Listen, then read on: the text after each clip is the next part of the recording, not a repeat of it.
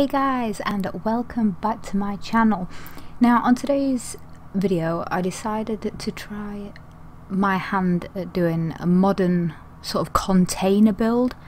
Um, basically three blocks all at different lengths um, to make it look like they had been done from shipping containers. I tried to do this to be extremely modern um, although you'll see in the video I did have some little issues with trying to work it out. I'm still new to building on The Sims, so there's still bits and pieces I don't know how to do. There's still ways around things that I don't know.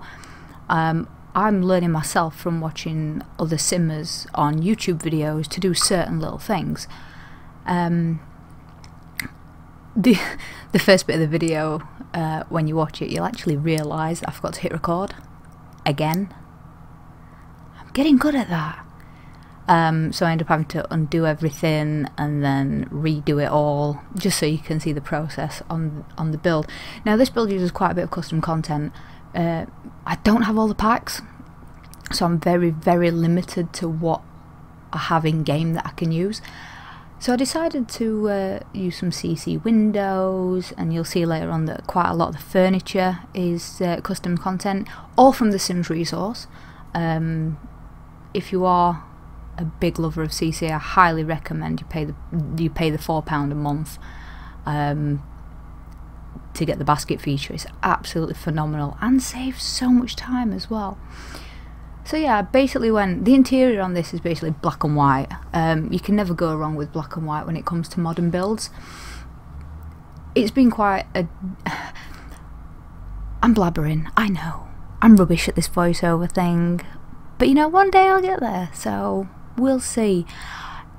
It was really difficult, obviously because I did everything on a foundation and made it look like decking. I couldn't really put any plants in. So I used, you'll see at the end of the video, I used a lot of potted plants um, you don't see me do that because I stopped the recording um, early because my little boy woke up. Woke up, so then I went back and just added a couple of plants and stuff in, just just to try and finish off the build a little bit.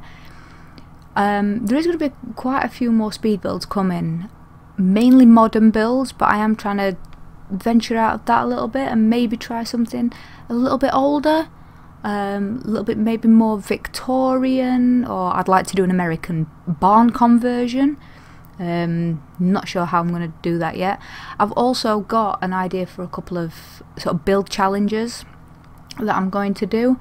Um, I've also done a build that I'm looking for somebody else to do the interior of because that is my downfall. I suck at doing interior.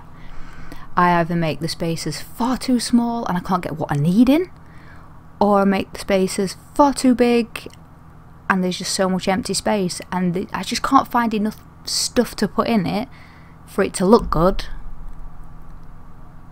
and still work. I end up putting stuff in it for the sake of it, then it looks rubbish, then I delete it all, then I get stressed with it, and I don't finish it. Um, also, if you've watched my video that I did yesterday with the modern house build, I haven't decorated that yet. That's going to be my next thing, but that's going to take a while. So, uh, yeah, we'll, we'll see how that goes.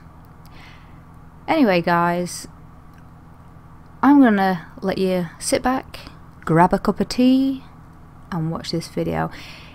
Remember, if you like what you see, please, please, please tap that little uh, thumbs up icon. Uh, if you want to see more from me and my channel, press the subscribe button. And uh, even, even the tiny little bell icon will notify you every time I upload a video. So guys, I'm going to leave you to watch it. Enjoy your day.